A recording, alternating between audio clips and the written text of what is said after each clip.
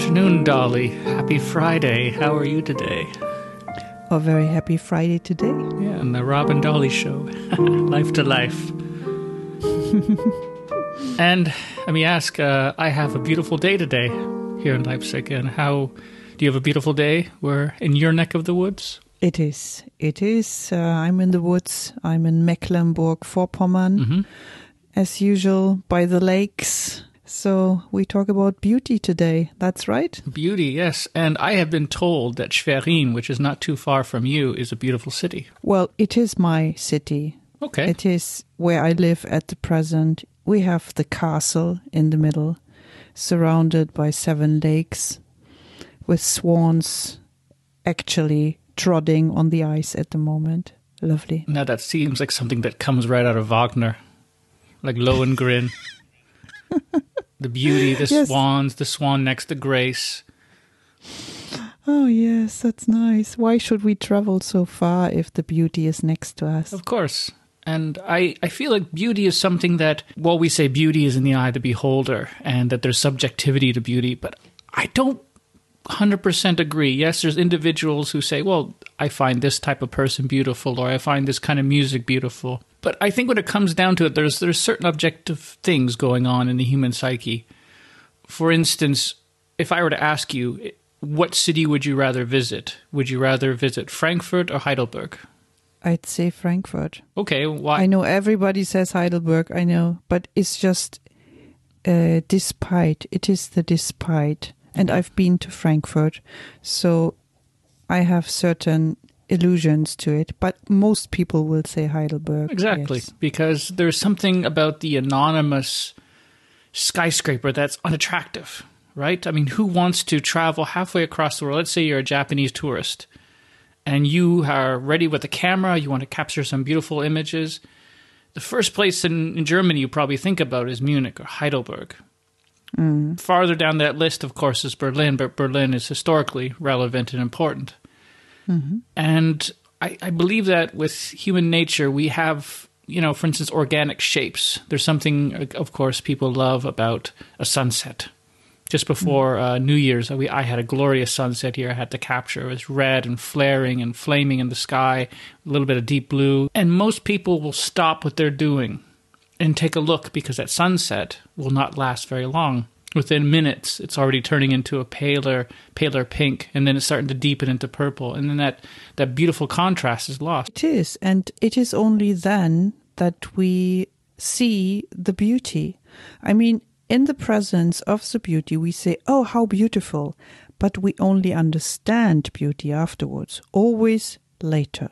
We are yearning after this image of the lost Eden. We're glimpsing towards Eden. We Yes. want to Yeah.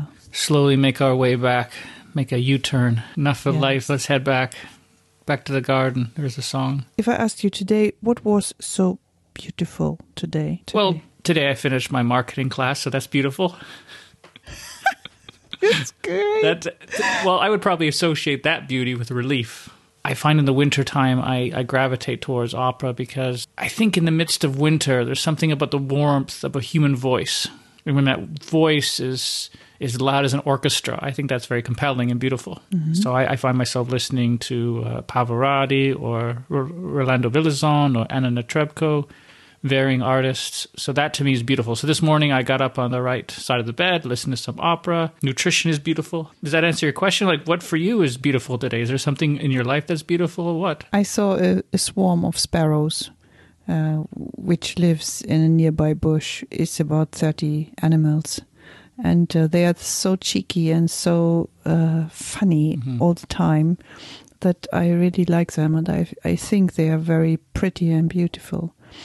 But this morning, actually, I opened the newspaper and I saw that our huge rhinoceros from our museum has been landed to another museum. And I think our rhinoceros is very beautiful. How on earth do I come to that conclusion? Jean Baptiste Oudry, he painted in 1749 the life like rhinoceros. Yeah. And we have the hugest um, um, work here, the in Schwerin. And it is an ugly animal, but the story behind it is so impressive because the first ever animal was indeed given to Europe in the 18th century. And any after, they struggled that the rhinoceros was a symbol for Africa, for colonialism, for India, and even they made fun of America and made mistakes when they painted and gave that as a present to American people, and they made mistakes in the rhinoceros. So this this animal symbolizes something for me, uh, which has nothing to do with other people. Other people maybe find this animal ugly. Dürer painted it. There's a very famous armor rhinoceros. Yes, I was just thinking about I- that. I'm I'm very I'm very happy with that animal and whenever I go to the museum it's like going to a bus stop yes once in a while I go and just to just go to the museum to see my friends and my hugest friend is that rhino so that's rhinoceros. beauty for me yeah With Durer, he was basically told by someone who had seen a rhinoceros first-hand account. Oh, he said to Durer, it's, it's just like an armored horse. So in Durer's imagination, he simply had this image of a horse wearing armor. So that's how he drew it. I think that's uh, quite c- compelling. I think so too, and the beauty comes from from the legend because the no- rhinoceros has a huge horn, and with it, it it splits its enemy. Yes, so I've heard about fights that have been painted between elephant and rhinoceros, and the rhinoceros waits until the animal, the elephant, shows his belly Yes. and then it's the time of of uh, of winning the fight. So it's like you can do whatever you want, but in the end, I will win because I have that advantage. It can be a character trait, or it can be something else, but this animal hazard. That's why I think also that it is very beautiful. Perhaps the beauty lies within the re- resilience of the animal. So we've gone from talking about swans on the ice to rhinoceroses in a museum, and how the, the right. rhinoceros essentially, i- in midst of battle, will gore its enemy with its horn or its yeah. Yes, Yeah, what a right. beautiful subject. Hmm. so this is this is what's beautiful for you. So people have strange haircuts. Yes, I I've been watching a series on TV about it's called The Follower, and it's all about Instagram, etc. And all the women have strange haircuts, and I thought, oh my god, is that ugly? Yes, and after uh, six sequels, no, not sequels, but series, it was finished, and I thought, oh, that's nice. So connected with character, I thought I should see the hairdresser maybe. Maybe it fits me because there's the idea of, of fighting, yes, of uh, following one's dream attached to it. So you want to get a crazy That's haircut? I think, yeah, But you mentioned the Impressionists because in their day, when they first started painting, there was the ideal beauty, which was then a construct of the academies. The academies believed in the Greek, the Roman, anything of biblical subject matter. So all these painters who were allowed to showcase their work at the salon, they had to go through uh, a board or a jury. And many of the Impressionists simply could not do what was expected of them. They, they found it disgusting because it was anti the life they knew. For instance, Baudelaire said that you know the best museums in the world, the best galleries are the streets of Paris, walking down, seeing the, the human beings in their element. And you find that worldwide, wherever there's this academy, the most beautiful artists that come out of that time, it's not so much the academic work, which is still recognized, like Jérôme and Ingres and all these others who were recognized by academies, but it's the people that seceded from the academies. So, you know, in Vienna, the secessionists. In, in France, we have the Impressionists, and then the Post Impressionists thereafter. And their art was ridiculed because it wasn't conventional. And I think a, a large factor played into it was because these artists they were associated with the low life. I mean, many of them slept with their models. Degas was known for showcasing the human body in contorted forms, and he he he, he placed, uh, for instance, prostitutes or dancers, which at that time the dancer was no better than a prostitute, maybe one stage up. So these artists were you know, portraying the life they knew, It's bohemian funny. life that was painful but relevant for them. But I think we recognize their art as more beautiful these days. Yes, it's always post mortem or after after they have painted it because in the beginning everybody thought impressionistic painting is ugly. It was just a canvas and uh, strokes, uh, paint brushes. So, and later it became beautiful. In the beginning, it was always ugly. What was there was uh, was the classic, the the classic show of uh, Madonna and uh, her child, and that was uh, the beginning also for the Pre-Raphaelites because there's one painting. Uh, I remember it's all in golden and full of color. Yes, it is a church painting, but uh, the painter brought uh, with the tradition already. So this name is called Carlo Crivelli, Shadows on the Sky. And this painting shows Madonna, but it was the first step for the Pre Raphaelites because he was courageous enough to change, to go away from mainstream. And at the present, I think we go into another time.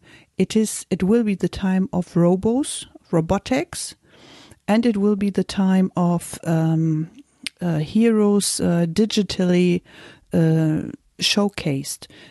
People have a hunger for that. And even the first Tesla that was invented, they wanted to make it beautiful, but most people thought it would be ugly because of the heavy uh, battery it was in it. So there's a, nowadays people who have a Tesla, they think it pretty and beautiful and something outstanding. But in the beginning, it was always ugly. And I think we are in the midst of it. We are again on the I- brink of a new impressionism. I, I I'm I'm not against robots per se. I mean, we use AI algorithms and such. I mean, it's basically machine learning. But I would like to see an era of spirituality as opposed to robots because I feel like right now people they need to mature spiritually before they can adapt to the machines that are far more advanced. I think human beings are lacking in spiritual awareness and emotional integrity right now because of what's going on in the world. I feel like there's a lack of intuition in many people. There's a lack of discernment. There's a museum in Tokyo. They opened it uh, a few years ago. It is only digital art. And uh, the moment you enter it, this fake, you know, it is fake, and the the skyline and uh, the lights surrounding you and nature surrounding you is all faked, of course, by digital art, but it's so pretty, so beautiful that you forget breathing. And I think connected with um, music, connected with arts, like you said, the pedal with that um, that uh, painting, this fake pedal in the painting, that's it. Exactly, this is what we are going to. It is like connecting the two worlds, and that's the magic, that's the beauty. You need to see the beauty in digital. I, I, I'm I'm a luddite, so I'm very much against any advancement in technology that supersedes or takes any artistic or artisan craftsmanship and pushes it aside. I- simply think that a lot of this technology is simply a distraction. It's not really beauty itself. It's just it's it's basically like information that we become gluttonous about. This this this virtual world is something that sickens me because I feel like how can you appreciate a virtual world when you don't appreciate the world that you live in? It's it's to me it's laziness. Like I don't want to participate in the world is what I hear when someone says, "Oh, I love virtual reality." I don't want to participate in the world. Therefore, I'm going to participate in this world. But then again, most people don't really participate in this world. They're just sort of lackadaisical. They go around their days with their phone two or three inches away from their faces.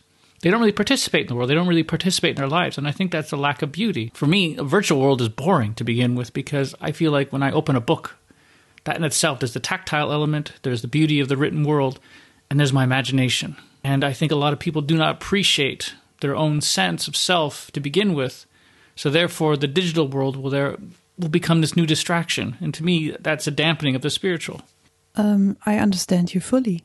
Um, But there are so many people out there who don't have a foot any longer in the old world, who have no foot in any world at the moment, who feel uh, left behind or not included. Um, governments do their own decisions. They don't read newspapers. They are not interested in politics. Uh, all they are interested is uh, series and consumption. You say there is the chance. Their chance. Their chance is to come back into life by acquiring a sense of meaning, a sense of beauty in the new art. This is a field that is that only belongs to them. They can create it and they come back to themselves so they become powerful, they self enforce themselves and they become meaningful. This is something what is absolutely necessary and no element in the old world, no book in school, no governmental advice, nothing can get them. It is the new world only. And that is the big chance and the big risk for me. But what if the governments of the world have actually orchestrated this? What if the reason why people don't feel connected to themselves is because the education system has spent so much time and effort making people stupid? So therefore, they're not making the decision to go into this world to become a better person. They're pushed into that direction because of the lack of support in the spiritual world around them. I feel like the government, in many ways, doesn't really care about human beings. I mean, we may disagree on this element here, but if people feel isolated and they feel disenfranchised, it's because they haven't looked at themselves. They can't look to a government. They can't look to an education system. As far as I'm concerned, the education system is bankrupt. It's corrupt. It has only agendas in mind as opposed to the individual. The individual should have its own sovereignty. We as human beings should really be able to explore things. So if people are escaping into this world, perhaps they've been given road signs along the way. This is the way you have to go. Talk about the talented, the talented seeking person, young person uh, they they have no choice to gain access to the establishment because the ex- establishment will shut them out. Um, so they have to go new ways, and if they want to uh, gain attention from an audience, they have to use the means uh, the establishment doesn't mean doesn't use.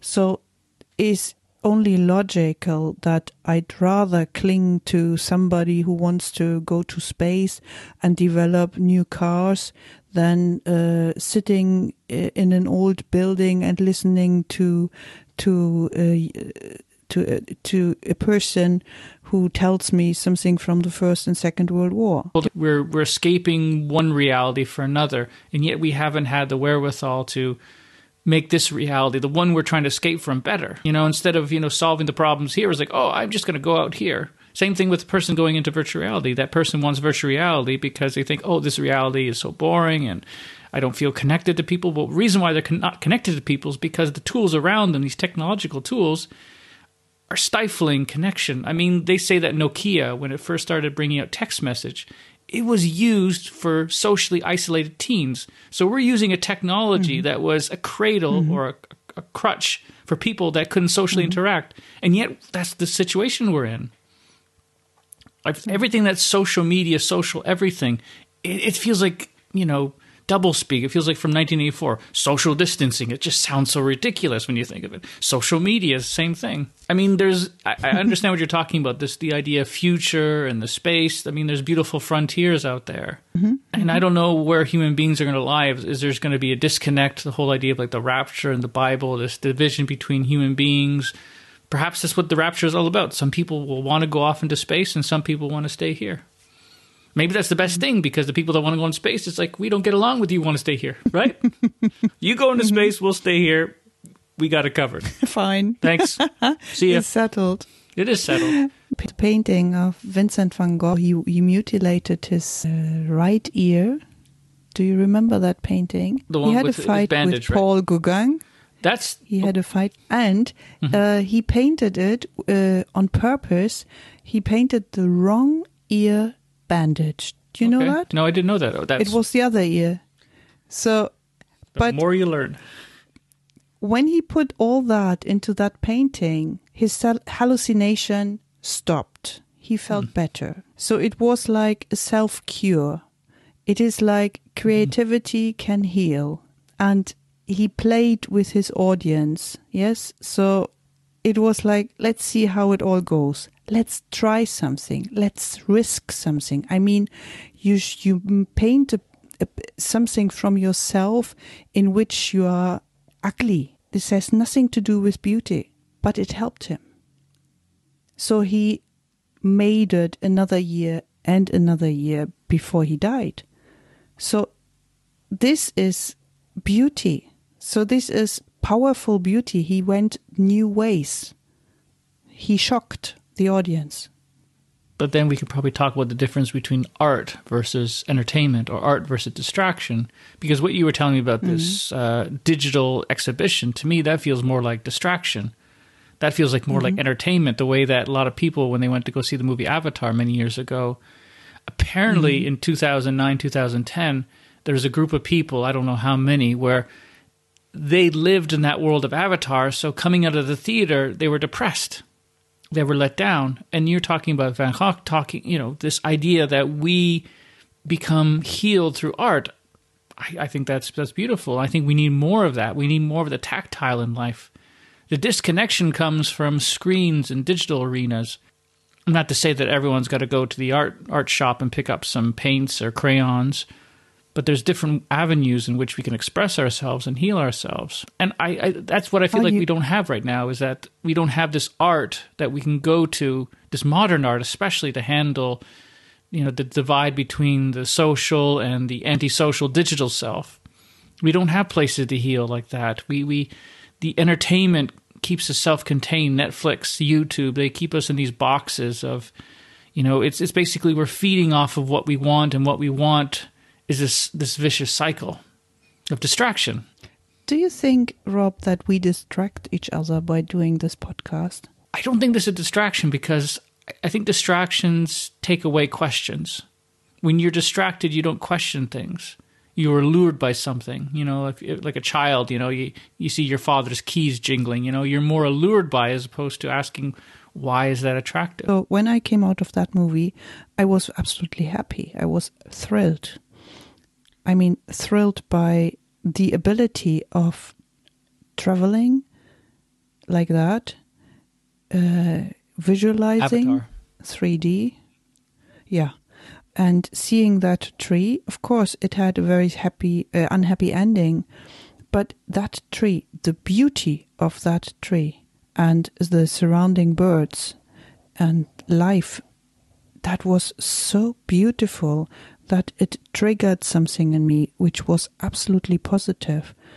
So I understand that people were depressed afterwards, but I also understand that people were very happy. But my mother and I, we have a conflict here because, and same with you, I think Avatar in itself is a boring story. You have a very wooden character, you have a very bad, bad guy. He's just so bad it's obvious.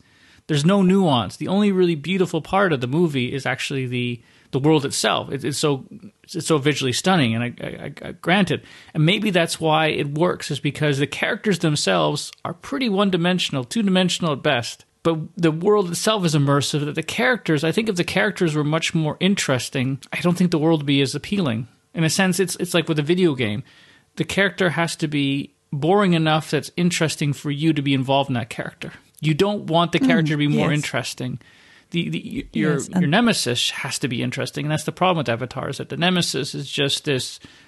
He basically represents everything bad in the world. He's Mister Corporate Military Bad Guy.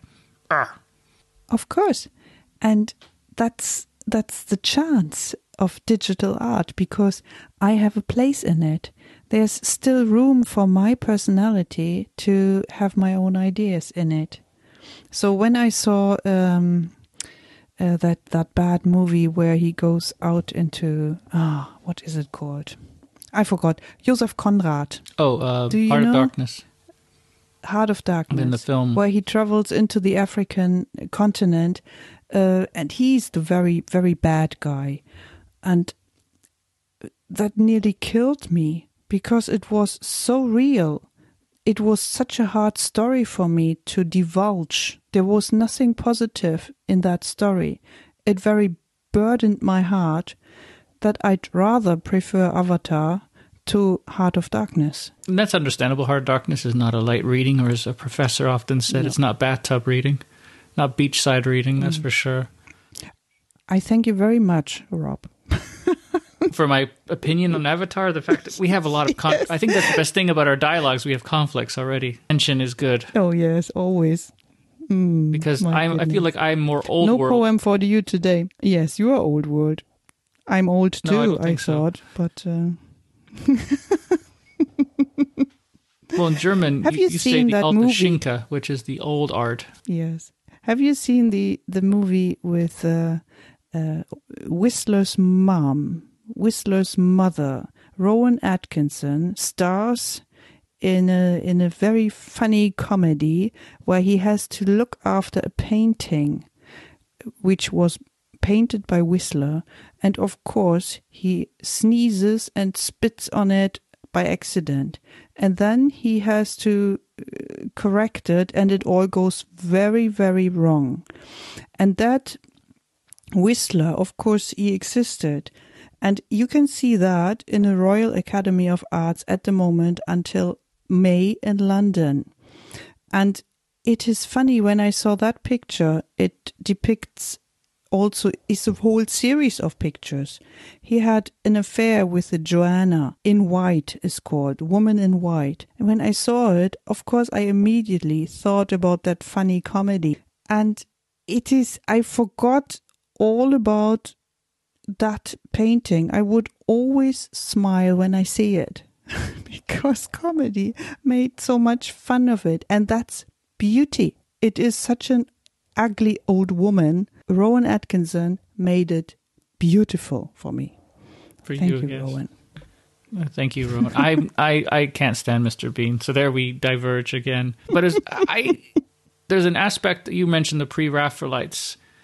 Ruskin was this pre-Raphaelite. He was also a critic, historian, art hmm. historian. I can't hmm. remember the woman's name, but he he married a, a young woman, and apparently, because Ruskin had so many contacts with these paintings and these divine, beautiful images of Venus and Aphrodite, and of course the woman's pubis area has no hair. Apparently, the night of his honeymoon, when he actually saw his his wife fully nude, he was confounded, and I, I guess the the relationship never went really beyond that first night. I don't know if there was any coitus, but it was another pre-Raphaelite painter that eventually rescued uh, Ruskin's wife from his love. I guess there was a loveless marriage. But that's one aspect about beauty is that I think sometimes it can be a little bit more of a fairy tale. There's aspects that are there, there's lies to beauty. Maybe I mean when you think of the makeup throughout history, it's always been about fabrication, just to enhance someone's natural beauty to this level of you know you want to make the eyes larger, you want to make the cheeks red, you want to establish that the lips are you know red and ready for love. At the moment, I think um, the mass, the masses of youth, what they want to see is that they are beautiful, that somebody acknowledges them. They want to see themselves in in pieces of art. So, have you seen NFTs? With NFTs. NFTs are created by, let's say, digital mm, currency, Mhm. and uh, they create art uh, connected with uh, AI, and it is uh, very often animated. So, and it is full of some symbolism, and they they go for millions. Yes, these pictures. And I tried them, and it's very great. It is great stuff. You can really experiment, and um, you only can do it if you if you use Ether. Yes, if you use the the currency because you have to pay for for for tokens. So it is really lovely. I I understand that people get uh, absolutely thrilled when they see it, or just uh, these um, normal paintings from Japanese or Korean artists with these huge round eyes and the transparent bodies in, in, in light blue. And it is also pretty. So, so because you can see, I see myself in it. It is the childishness in adulthood. This is beauty for me. So this is venturing out in into life. Of course, it, it is a different life. It is venturing out into the inner life, and thereby meeting so many other people by TikTok, etc. So this is this for me is is very beautiful. I like that. Now you have nothing to say. No, I'm listening, but uh, I, I think I was just thinking about the the Groucho Marx quote. Whatever I whatever it is, I'm against it. I uh, okay. For instance, maybe it's because as a kid I've always been attracted to the, to the tactile world. So when I was into movies, I'm still into movies. I still feel like mm-hmm. 1970s, 1980s, the special effects were far more superior to what you, we've seen in the last 10, 20 years because the computer world t- to me still feels it's it's lacking in something. It's lacking in this texture. I mean, I think the best marriage of technology with with the graphic and what would you call the the tactile nature of you know special mm-hmm. effects was Jurassic Park, where you had individuals working from the from the standpoint of making models to these new companies doing mm-hmm. CGI, and you had a marriage of that. Mm-hmm. And what concerns me is that people could get lost in this future world. You know, they they would lose their souls to a digital landscape where they no longer exist on the physical plane. You know, it's the idea of lying in, in a pool of salt water to the point that in the dark you can't feel yourself anymore. They've done experiments about this. It's basically taking your own mind away from your body. And that's the concern I have. The, the, the, the one thing about visiting a museum is that you're in an environment that's both social, but it's also a place of solitude you're walking amongst works of art, you're having this connection, you almost this inner discussion with them. But by involving yourself in the social world, there's that connection with this, you know, the sense of smell. I mean, we don't get a sense of smell when we when we live in a digital world, right? I mean, what what does a mm-hmm. megabyte smell like? What does it taste like? Mm-hmm. I mean, not to say that okay, yeah, Van mm-hmm. Van Gogh definitely tasted paints. He probably had some psychedelic moments there. But that's what I'm worried about is that little by little this disintegration of the connection with the world and what is real or not. Well, we could talk about that from the sense of Plato and idealists. I, I just feel like human beings have developed. I don't know. It's, it's almost like they've lacked development in the last 30 years because technology has been this sort of you know, it's the car keys, the jingling car keys, but it's not so much for babies anymore. The jingling car keys, it's the latest iPhone, it's the latest Samsung or Android and now we have this currency, so I can't access this art unless I have this currency. I mean, that's also about the exclusive. That it just it just bothers me a little bit because I feel like there's something about the tactile world that people like. Oh, I, I don't want to live in that world. Yeah, because you've been coddled to enjoy everything. I mean, sitting on a train mm-hmm. or on a tram and watching people staring at their phones, it, it just bothers me. And I understand what mm-hmm. you're talking about mm-hmm. the sort of beautiful aspect of technology and the development and this art but if there was a balance, I, I don't think I would be against it so much. But there's there's such a weight on this world to go into the digital, and yet there's no counterbalance. There's no way of saying, "Hey, don't forget about this." It's all about forget about this. That's what I feel like the message is. Forget about you know, let's go into the metaverse. Let's with, with Mark Zuckerberg, the alien reptilian face that he has. He's such an ugly guy. Sorry, I got to say that I can't stand him. Oh, that's an what he represents to me is pure ugliness. Mm. To me, if know, you want to know what the absolute lack of beauty is, it's Mark Zuckerberg. Yeah. What he represents, the corporation, Twitter, Facebook, mm-hmm. that's ugly. Okay. That's not beauty. There's no connection on that website. To me, mm-hmm. it's vacuous. Have you heard of August? Have you heard of August der Starke? August the Strong of Dresden, Saxony. He was a freak. He was uh, the electorate of Saxony, the king of Poland and he was a maniac of porcelain. And he had many women and wives. And uh, he he had a very very exotic life. And once the king of Denmark visited him, and they made a procession uh, in uh, in his town Dresden, of course with a rhinoceros. So uh, August der Starke, August the Strong, has the green uh, Gewölbe, das grüne Gewölbe. Yes, it was him who built it.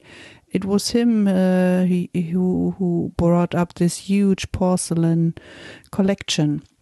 So I think he was the guy which you nowadays call all these freaks out there. Yes, but you you will never forget him. He he had something to say because he loved life, he enjoyed it, and he gave us very beautiful uh, items which we admire nowadays. And uh, the city of Dresden uh, gets a lot of money from tourists because they all want to see what he once collected.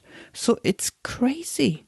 And what I also want to say is in in the past centuries there were allegories of in paintings in art in culture like the seasons maybe you know the the faces that are made of uh, apple and uh, vegetables etc it is uh, in vienna you can see them the seasons are allegorized and uh, the ages of man were painted or the elements fire, earth, etc., or continents. So I don't think that has stopped, but I think, I believe that our people around us have lost that connection to the old world. I see that when I was a girl, I I loved love books. Yes, these stories. I read them. I had an image of true and real love. When I grew older, I observed that uh, the men I met, they didn't have a clue. So they didn't have that romantic image of love.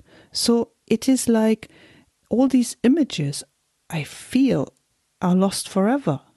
So I don't see them in my everyday life, and I would love to see that, but it's gone. This is a loss, a huge loss. We talk about extinction of animals. I talk about extinction of allegories. Well, I do believe allegories still exist. For instance, I watched the German film Undine last night, and while it was a beautiful film, I, mm-hmm. I feel like the the director, writer, he didn't connect enough points to really bring home the mythological element. I just felt like he could have. He was trying to make it too realistic, and yet try to bring the allegorical element together. And I feel like they just missed points if he had spent a little bit more time explaining or making the mythological magical element more grounded in a work that you know felt cinematically grounded whereas i watched another polish film called the lure so i think the german title is uh, gesang von der sirenenorde and it's about these mm-hmm. polish mermaids who are also vampires but it takes the story of the little mermaid from hans christian andersen and brings it into the real world so there's a, there's a, there's definitely a dark aspect about it because the, there's two sisters or two friends, and one of them falls in love with uh, with a guitarist, and she and her friend become they go onto land, and the only time they turn into mermaids when they're touched by water. So they become singers in this cabaret. But the younger mermaid, the much more naive one, who represents Ariel from the Disney version of Little Mermaid, Little Mermaid, she sacrifices mm-hmm. everything and she ends up turning into foam at the end, which is based on the original story. Mm. Whereas her mm. sister takes revenge and there's the graphic ending. I still feel like we have that magic in the world. We just have to choose to connect it. And if we don't understand that it's been lost, how are we going to find a connection to it? So you reading these stories and you feeling a lack of connection isn't mm-hmm. going into the digital world basically compounding the death of that beauty, don't you want to instead of ignore it, you want to go back to it and help others go back? I mean, it's not so much going back; it's it's every it's all about evolutions and revolutions. Mm. And I just feel like the digital world is just this little, again, the, the jangling of the car keys. Hmm. It's like our elephant, uh, where our world is placed on, yes, or was placed on, turtle. is is is or a turtle uh, has lifted. Yes, has been lifted lifted up, mm-hmm. and we are in air. So we've lost our strings to earth. We are flying at the moment, and nobody knows where to. Nobody knows where we land. It is at the moment. It's all very. Uh, wow, is um, yeah jeopardizing. We don't know what what will come. Uh, but I I want to see the beauty of it. I don't give up. So I know what's down earth and I know what I've been losing, but I'm open to new ones and I trust in mankind that they don't end up like in a in a in a movie I saw. It was a science fiction movie where people uh, are attached uh, via glasses uh, and they only sit in the chair. They don't know that they sit in the chair. They are fed with uh, nourishment and they view the world outside and they don't know that they just sit there. They have no uh, sense for themselves. They only acknowledge um, being alive uh, through RE, uh, visual images. It's like watching TV on end, without end. And I don't want to accept that. I don't believe that we become only consumers. I don't want to. No. And I, I trust in humanity that this will not happen. We, we yes. have to come into ourselves, and we cannot trust that an institution or an entity of education is going to facilitate that it's all about self discovery. It's yes. all about learning for yourself. It's all about getting out beyond. There's comforts in life that we need, right? But at the same time, we have to question those comforts. We have to question how much time do I really need to spend with my phone, or how much hours do I spend on Netflix or YouTube before it becomes nourishment that is like McDonald's. I mean, it, it's mm-hmm. there's there's some films that I would say that are artistic works of art, and then other films that you know we just watch because we need a little distraction. And I'm I'm not perfect. We all need distractions, but I'm not going to conflate them both, or I'm not going to confuse them, I should say, because I know what a work of art is. And when I sit and watch a movie that brings out thoughts, it stays with me, it lingers with me. Like Undina has many problems, I think, as a as a storytelling, but visually it's beautiful. Mm-hmm. I, I don't know what I can actually recommend because I don't. If, when you start recommending something, you get onto that stage of a guru or a platform in which you feel like you're better than others. I think you just got to go within. Everyone has to go within and finding beauty in different ways. Like Plato believed that we, we start with beautiful bodies. We, we fall in love with many beautiful bodies. Then we have one beautiful body, and then beauty itself, which leads us to the good. So a connection with mm-hmm. ourselves has to begin with what do we find beautiful in our lives? What what brings us close to home? Roger Scruton, the uh, the philosopher, I think he passed away in 2020, said beauty reminds us of home. And what we're talking about, you know, what you said with the cutting strings, that's a homelessness. That's a sense of being in this, this spatial realm, mm-hmm. not attached to the sky, not attached to the earth. It's like limbo, purgatory. Mm-hmm. I think culturally that's where people mm-hmm. are right now because we don't really have that tactile element.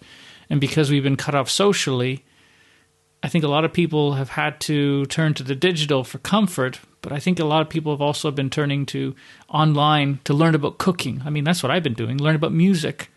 So if if people have taken advantage of this time, I hope they've taken advantage of the point that they find the beautiful in everyday life.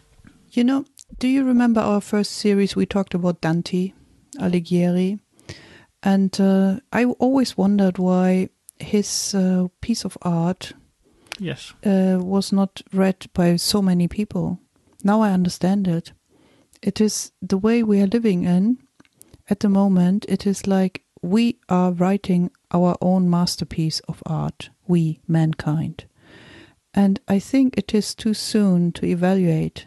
I think it wouldn't sell. it wouldn't be read by too many people because it is too early. I think Dante's book was too soon. It was too early written. Would it have been written nowadays? I think now is the time for Dante's topic. Of course, in in the world we are living in, it would be a master seller. I know who I would put in hell. yeah, we don't talk about it today. No, of course not. It's not the topic. We we stick to beauty, Rob. But you understand what I mean? Of course. But I think we have to make beautiful we have to make beauty out of our everyday lives.